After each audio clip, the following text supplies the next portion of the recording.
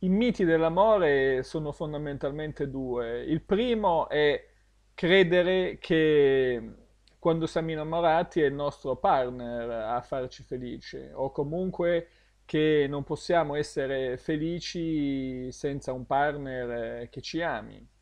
Eh, ma poi possiamo estendere questo concetto non, sa- non soltanto alle relazioni sentimentali, ma alle relazioni, alle cose in genere. Crediamo che possono essere i nostri figli a farci felice piuttosto che nostro marito, nostra moglie, eh, piuttosto che un, un lavoro o una qualunque cosa.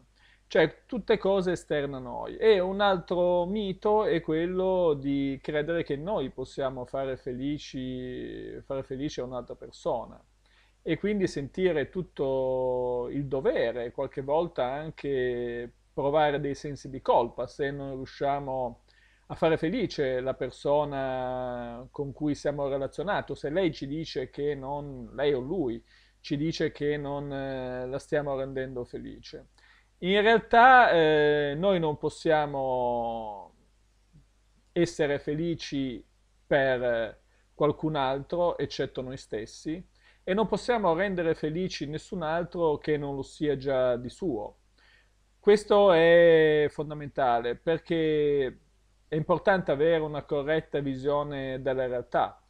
E la corretta visione della realtà è proprio che la felicità possiamo raggiungerla eh, soltanto se partiamo da noi stessi. E cosa significa partire da noi stessi? Significa imparare ad eliminare quelli che sono i nostri propri veleni mentali, ciò che offusca stare bene. I, i veleni mentali sono eh, l'egoismo eh, e tutti i suoi derivati, che poi si trasformano in avversione, rabbia, invidia, gelosia, eh, vanità, eh, arroganza, e sostituirli con eh, l'opposto. L'opposto inteso come altruismo e tutti i suoi derivati, che poi sono il fatto di poter amare le altre persone, non provare invidia, non provare rabbia, non provare gelosia.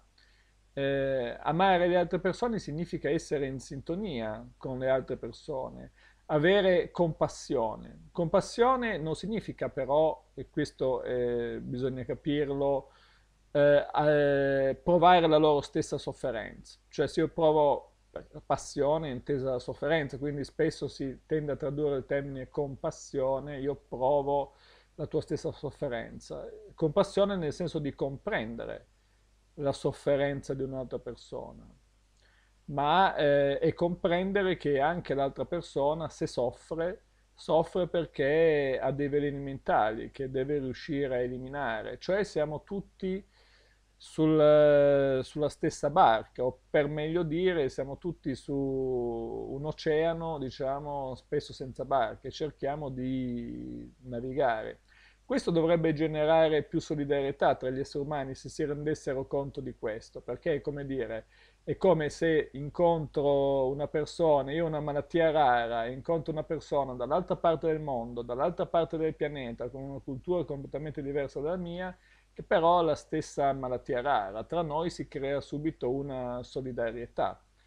E questa solidarietà in realtà dovremmo, estes- dovremmo estenderla a tutti gli esseri senzienti, non soltanto gli esseri umani, perché tutti noi eh, abbiamo la stessa malattia, tra virgolette, che è l'ignoranza fondamentalmente, che significa non comprendere correttamente la realtà e che si traduce con egoismo e tutti i suoi derivati.